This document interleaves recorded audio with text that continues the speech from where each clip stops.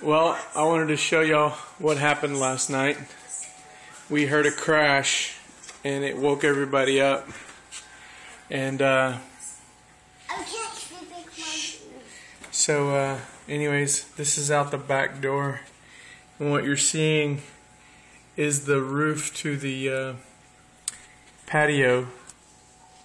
When we moved into the house and bought the house, this was already here and uh, I knew then that it had issues, but I just didn't realize how bad the issues were. But last night the uh, roof gave out and basically collapsed, and uh, that's what you see there. So today I'll be out there dismantling it and seeing if we can salvage any of it and put it back up.